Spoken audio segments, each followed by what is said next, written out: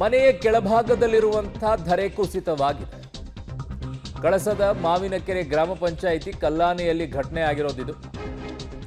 ಕಲ್ಲಾನೆಯ ಭಾಸ್ಕರ್ ಪೂಜಾರಿ ಎಂಬುವರ ಮನೆ ಕೆಳಭಾಗದಲ್ಲಿ ಆಗಿರುವಂಥ ಘಟನೆ. ತುಂಬಾ ಜನಕ್ಕೆ ಅನ್ಬೋದು, ಏನು ಮೇಲ್ಭಾಗದಲ್ಲಿ ಇರುತ್ತೆ ಸರ್, ಮಣ್ಣೆ ಕೆಳಗಡೆನೆ ಇರುತ್ತೆ ಅಲ್ವಾ ಅಂತ ಹೇಳಿ. ಹಂಗಲ್ಲ, ಆ ಭಾಗಗಳಲ್ಲೆಲ್ಲ ಒಂದೊಂದು ಮನೆ ಎತ್ತರದ ಪ್ರದೇಶದಲ್ಲಿ ಕಟ್ಕೊಂಡಿರ್ತಾರೆ. ಎತ್ತರದ ಪ್ರದೇಶದಲ್ಲಿ, ಅದ್ರ ಕೆಳಭಾಗದ ಮಣ್ಣು ಕುಸಿತವಾಗ್ತಾ ಇರುತ್ತೆ.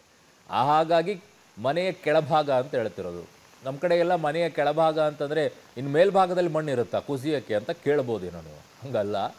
ಮನೆಯ ಕೆಳಭಾಗ ಅಂತಂದರೆ ಎತ್ತರ ಪ್ರದೇಶದಲ್ಲಿ ಮನೆ ಇದ್ದು ಅದರ ಕೆಳಭಾಗದಲ್ಲಿ ಇಳಿಜಾರು ಏನಿರುತ್ತೆ ಅಲ್ಲಿ ನೋಡಿ, ಆ ಮನೆ ಇದೆ, ಈ ಇಳಿಜಾರು ಭಾಗದಲ್ಲಿ ಅಲ್ಲಿ ಮಣ್ಣು ಕುಸಿದು ಹೋಗಿದೆ. ಈಗ ಅವ್ರಿಗೆ ಆತಂಕ ಇದೆ.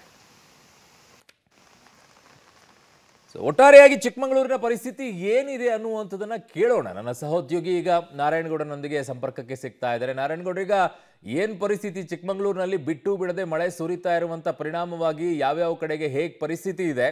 ಆಮೇಲೆ ಇನ್ನೂ ಕೂಡ ಹುಚ್ಚಾಟವನ್ನ ಮಾಡಕ್ಕೆ ಪ್ರವಾಸಿಗರು ಬರ್ತಾ ಇದ್ದಾರಾ?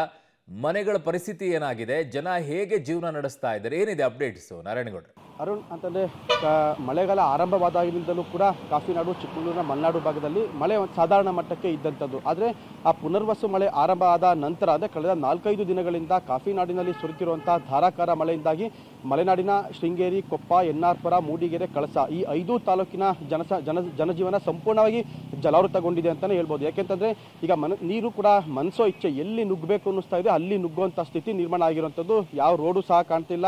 ಹೊಲ, ಗದ್ದೆ, ತೋಟ ಯಾವುದನ್ನು ಸಹ ಬಿಡ್ತಿಲ್ಲ. ರಸ್ತೆಯಲ್ಲೂ ಕೂಡ ನದಿಯಂತೆ ನೀರು ತುಂಬಿಕೊಂಡು ಹರಿತಾ ಇರೋದ್ರಿಂದ ಜನಸಾಮಾನ್ಯರು ಕೂಡ ಮಳೆ ಈ ರೀತಿಯಾಗಿ ಸುರಿದ್ರೆ ನಾವು ಬದುಕೋದು ಹೇಗೆ, ನಮ್ಮ ಆ ಮನೆ ಮಠಗಳನ್ನು ಉಳಿಸ್ಕೊಳ್ಳೋದು ಹೇಗೆ ಅನ್ನೋ ಪ್ರಶ್ನೆ ಕೂಡ ಕಾಡ್ತಿರುವಂಥದ್ದು. ಯಾಕೆಂತಂದರೆ ಎರಡು ಸಾವಿರದ ಹತ್ತೊಂಬತ್ತರಲ್ಲಿ ಯಾವ ರೀತಿ ಮಳೆ ಸುರಿದಿತ್ತೋ ಈಗಲೂ ಕೂಡ ಮಲೆನಾಡು ಭಾಗದಲ್ಲಿ ಅದೇ ರೀತಿಯಾಗಿ ಮಳೆ ಸುರಿತಾ ಇರುವಂಥದ್ದು. ಎರಡು ಸಾವಿರದ ಹತ್ತೊಂಬತ್ತರಲ್ಲೂ ಕೂಡ ನಾವು ಆಗಲೇ ಒಂದು ನೀವು ವಿಜಲ್ಸಲ್ಲೂ ಕೂಡ ನಾವು ನೋಡ್ಬೋದು. ಒಬ್ಬ ಬೈಕ್ ಸವಾರ ಕೂಡ ಈಗಾಗಲೇ ಆ ಸೇತುವೆ ಮೇಲೆ ಒಂದು ಎರಡು ಅಡಿ ಎಷ್ಟರ ಎರಡು ಎರಡು ಅಡಿ ಎಷ್ಟು ಎತ್ತರ ನೀರು ನಿಂತಿರೋದ್ರ ಮೇಲೆ ಸೇತುವೆ ಮೇಲೆ ಬೈಕಲ್ಲಿ ಹೋಗ್ತಿರುವಂಥದ್ದು ಇದೇ ಥರದ ಪ್ರಕರಣ ಎರಡ್ ಸಾವಿರದ ಹತ್ತೊಂಬತ್ತರಲ್ಲೂ ಕೂಡ ನಡೆದಿದ್ದಂಥದ್ದು. ಆತ, ಅಂದರೆ ಆತನ ನೀರಿನ ಮೇಲೆ ಆತನ ಬ್ಯಾಲೆನ್ಸ್ ಸಿಗದಲೇ ಇರೋ ಕಾರಣ ಆತ ಹೊಳೆಗೆ ಬಿದ್ದು ಆತನ ಮೃತದೇಹ ಸಿಕ್ಕಿದ್ದು ಕೂಡ ಕಳೆದ ನಾಲ್ಕು ದಿನಗಳ ಬಳಿಕ ಎನ್ ಡಿ ಆರ್ ಎಫ್ನವ್ರು ಬಂದು ನಿರಂತರವಾಗಿ ಹುಡುಕಿದ ಬಳಿಕ. ಅಂದರೆ ಅದೇ ಆ ಮಟ್ಟಕ್ಕೆ ನೀರಿನ ಪ್ರಮಾಣ ಹರಿತಾ ಇರುವಂಥದ್ದು ಈಗಲೂ ಕೂಡ ಹೊಲ ಗದ್ದೆ ತೋಟಗಳು ಎಲ್ಲೂ ಕೂಡ ನೀರನ್ನ, ಆ ನೀರು ಮನಸೋ ಇಚ್ಛೆ ಎಲ್ಲೆಲ್ಲಿ ಬೇಕು ಅಲ್ಲಲ್ಲಿ ನುಗ್ತಾ ಇರುವಂಥದ್ದು ಆದರೆ ಒಂದು, ಇದು ಒಂದು ಕಡೆ ಆದರೆ ಇನ್ನೊಂದು ಕಡೆ ಆ ಮನೆಗಳಿಗೂ ಕೂಡ ಮೂಡಿಗೆರೆ ತಾಲೂಕಿನಲ್ಲಿ ಯಥೇಚ್ಛವಾಗಿ ಅಂತಂದರೆ ಕಳೆದ ನಾಲ್ಕೈದು ದಿನಗಳಲ್ಲಿ ಸುಮಾರು ಹತ್ತಕ್ಕೂ ಹೆಚ್ಚು ಮನೆಗಳು ಈಗಾಗಲೇ ಮೂಡಿಗೆರೆ ತಾಲೂಕಿನಲ್ಲೂ ಕೂಡ ಸಂಪೂರ್ಣವಾಗಿ ಬಿದ್ದಿರುವಂಥದ್ದು. ಇದು ಒಂದು ಕಡೆ ಆದರೆ ಇನ್ನು ಕಾಡಿನ ತಾಲೂಕು ಅಂತಲೇ ಖ್ಯಾತಿಯಾಗಿರುವಂಥ ಕಳಸಾ ತಾಲೂಕು. ಕಳಸಾ ತಾಲೂಕಲ್ಲಿ ಅತಿ ಯಥೇಚ್ಛವಾಗಿ ಬೆಟ್ಟ ಗುಡ್ಡಗಳು ಇರುವಂಥ ಪ್ರದೇಶ.